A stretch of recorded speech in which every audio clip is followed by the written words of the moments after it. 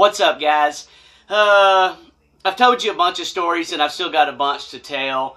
But this one here involves my guardian angel. And my guardian angel, I'm a, I'm a huge believer that I have a guardian angel that looks over me. I've just been through so much crap in my entire life, and I've come out of every bit of it unscathed. So I'm just been super, super lucky. But on this occasion, uh, she definitely saved me from dying for sure. But at the time, this was around 2010, and I was working in Atkins and I was living in Russellville. I had a Yamaha R1 crotch and it would go about 200 miles per hour. It was an absolute death trap. But I drive that back and forth to work every day down the interstate.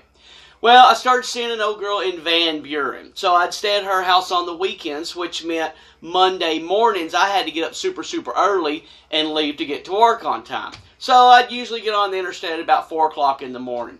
Now, some mornings I was running later than others, and I'd have to end up, you know, getting up to 175, 190 and just zipping down the interstate. But most mornings I was on time, and I'd do about 155, just 155, lay on the gas tank, and just cruise the whole way there.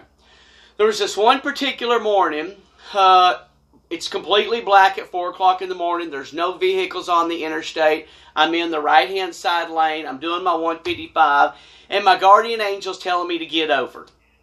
So I'm not understanding why she's wanting me to get over. But I always listen to my guardian angel. But this time I questioned her for whatever reason. So I'm like, no, I don't need to get over. There's nobody coming. The lane's clear. I'm good. So she's like, get over and get over now. So when she got kind of snippy with me, I got over because I knew something serious was about to happen. So I get over in the passing lane. Just as I cross the yellows, whoom! A washing machine is dead center in the right hand side lane of the interstate. Had I waited a split more second, I would have centered up that washing machine on my motorcycle doing 155.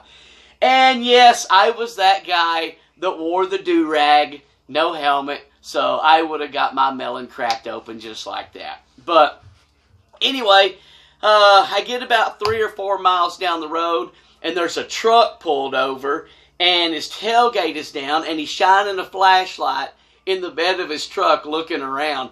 So I just always assumed that that guy had lost his washing machine, and when it landed, it just landed perfectly in that driver's side or the, you know, the, the right hand side lane. So, uh, of course, I go to work. I tell everybody about it, and the, the running joke was keep out, keep an eye out for the dryer. You know, when you're coming through there. But anyway, I just wanted to tell that little short story because I'm a firm believer in your guardian angel, and they're they're out to protect you and they're out to help you. So you always want to listen to your guardian angel. Now.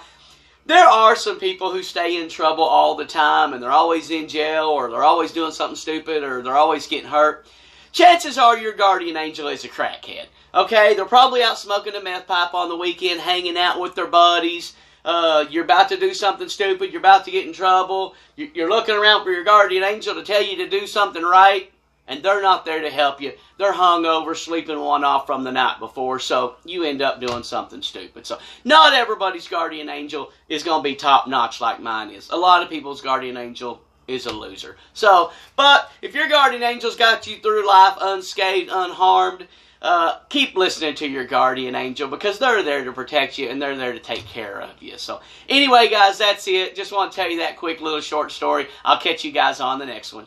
Peace out.